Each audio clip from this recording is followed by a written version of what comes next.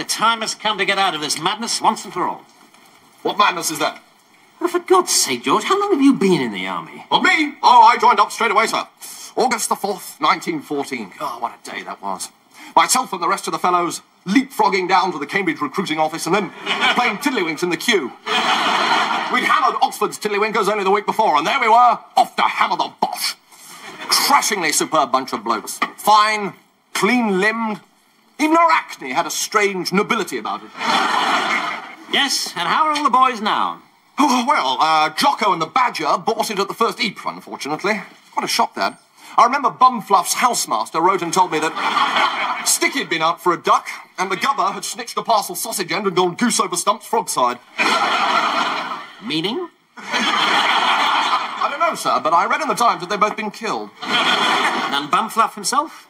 Copped a packet at Gallipoli with the Aussies. So did Drippy and Strangely Brown. I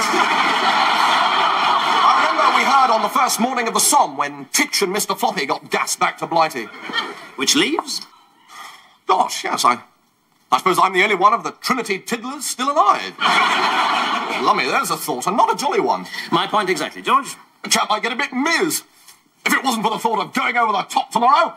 Right, sir, permission to get weaving. Permission granted. Thank you, sir. Baldrick? Captain Bay. This is a crisis. A large crisis. In fact, if you've got a moment, it's a 12-story crisis with a magnificent entrance hall, carpeting throughout, 24-hour porterage, and an enormous sign on the roof saying, this is a large crisis. A large crisis requires a large plan. Get me two pencils and a pair of underpants. This is an old trick I picked up in the Sudan. We tell HQ that I've gone insane, and I will be invalided back to Blighty before you can say wibble. A poor, gormless idiot.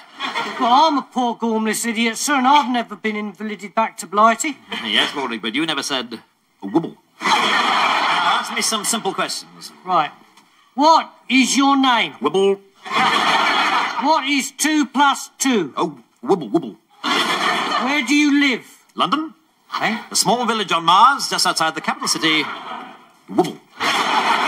All the men present and correct, sir. Ready for the off, eh?